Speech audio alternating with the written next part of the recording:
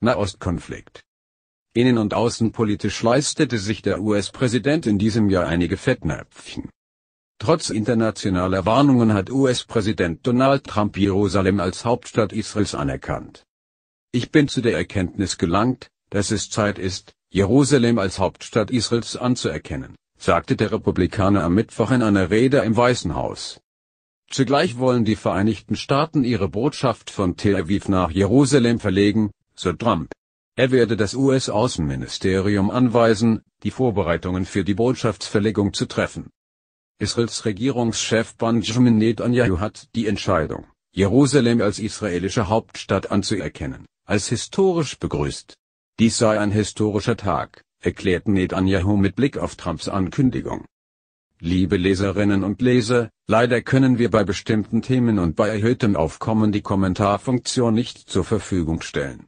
Warum das so ist, erfahren Sie in einer Stellungnahme der Chefredaktion.